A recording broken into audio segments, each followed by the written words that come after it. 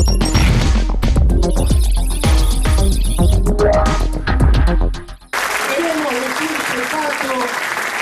queremos decirle a Gustavo, queremos decirle a Beto, a Blanca, a Martín, a José y a ustedes en nombre de todos los compañeros del peronismo de Paraná que estamos presentes.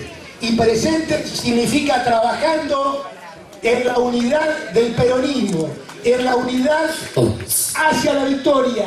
Nosotros hemos resignado, todos los compañeros aquí del Pato para abajo, han resignado, hemos resignado en pos de objetivo mayor. Esa era la conducción política que nosotros ejercíamos y esa fue la lógica en la conducción política que ejerció el Pato hasta la victoria.